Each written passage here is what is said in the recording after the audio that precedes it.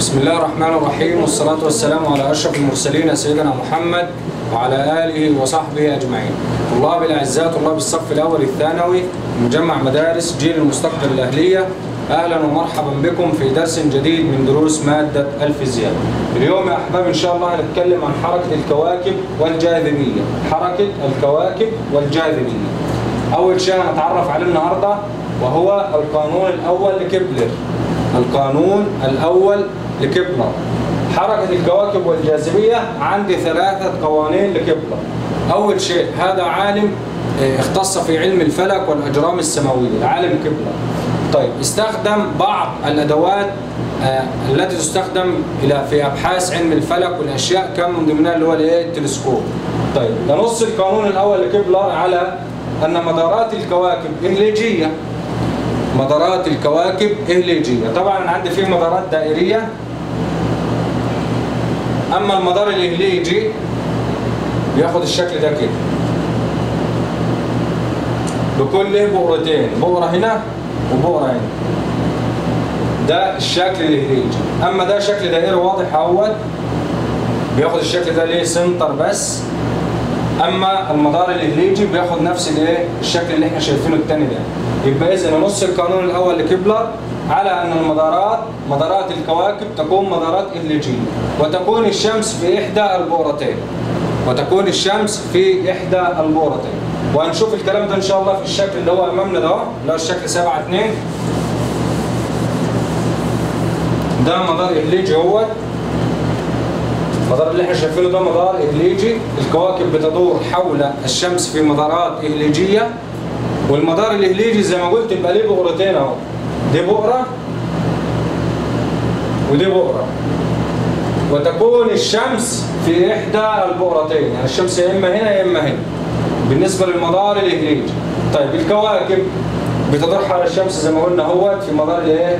في مدار إهليجي وتكون الشمس في إحدى البؤرتين وهذا هو نص القانون الأول لكبلر يبقى الشكل 7 2 تدور الكواكب حول الشمس في مدارات إهليجية وتكون الشمس في إحدى البؤرتين ننتقل بعد ذلك إلى القانون الثاني لكبلر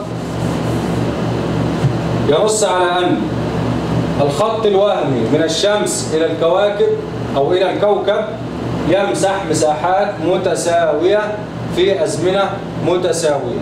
كما في الشكل 7 3 زي ما إحنا شايفين كده. يعني إيه؟ الخط الوهمي من الشمس إلى الكوكب يقطع مساحات متساوية في أزمنة متساوية.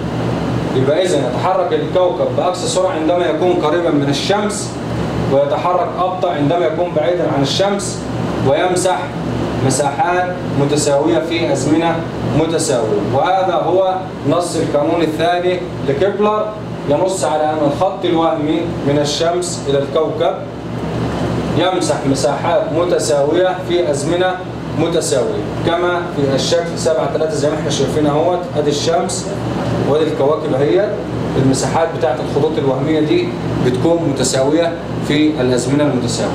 طيب ننتقل بعد ذلك إلى القانون الثالث لكبلر ينص على إيه؟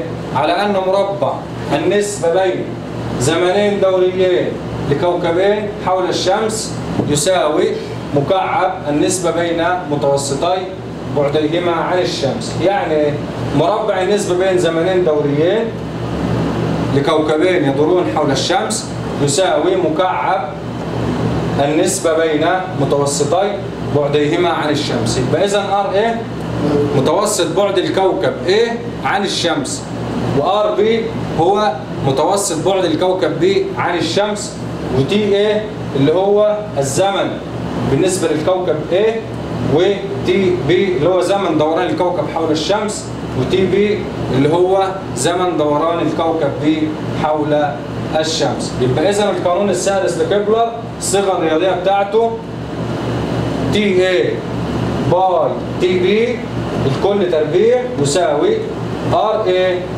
by R B الكل تكعيب.